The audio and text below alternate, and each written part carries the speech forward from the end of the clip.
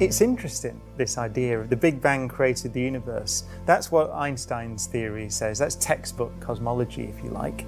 But the current textbook picture is there was a, a phase in the universe's life before the Big Bang, if you define the Big Bang as the hot, dense phase from which the universe appeared to sort of burst forth 13.8 billion years ago.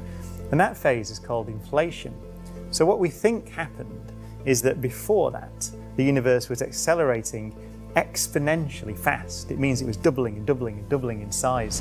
And the numbers are ridiculous. We think that if you started with a universe that was smaller than a single atom, then it would be bigger by a long way than the whole observable universe, 350 billion galaxies in it, in less than a million, million, million, million, million, millions of a second. So, a very rapid, exponentially fast expansion.